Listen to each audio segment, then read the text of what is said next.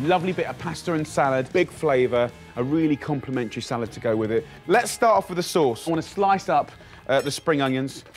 A couple of tablespoons of olive oil goes into a pan. Follow that with the spring onions. The end of the asparagus, just trim that off, get rid of that. Then these lovely stalk area here, just slice those right down to the tips. And the tips are sort of like the alloy wheels, do you know what I mean? You don't want to be chopping those up, you want to sort of be able to see them, they're dead posh. We're going to grab that and put that in with the spring onions as well. Frozen peas, about 300 grams goes in there, and then a handful of mint. What I want to do is add a little bit of flour. As soon as the flour's got stirred in, go in with around about a pint of milk.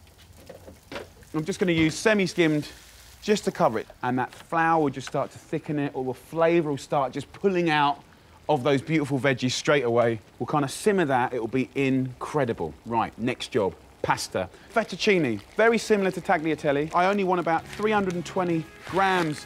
Make sure you season it with some salt. These are my two salad heroes here. Got some nice gem here, or you could use romaine or a round lettuce. And I've got these, this is called endive or chicory. Half it lengthways, and then I'll just quarter it, do as much or as little as you want, and just put that in the bowl. Somehow it makes the salad a little bit sort of chunkier. To finish off this salad, I want whole mint leaves, you want a little pile of those, and then tarragon. Gorgeous. Let's do a dressing. Let's go two teaspoons of Dijon mustard. Then we want to go a teaspoon of honey, a tablespoon of extra virgin olive oil, and then I want the juice of one lemon. Yogurt goes in. About one or two heaped tablespoons.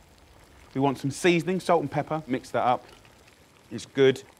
I'm just going to angle this sauce like this.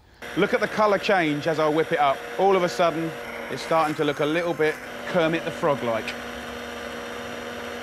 Look, that's what I like. Smooth and chunks as well. Let's just turn that off heat-wise. Our last little part to this story, beautiful flakes of smoked trout, about 250 grams into there. It's going to be absolutely gorgeous. So pasta comes off, pour that beautiful fettuccine into there and pour in about half a cup of that starchy cooking water. I'm going to squeeze in the juice of half a lemon.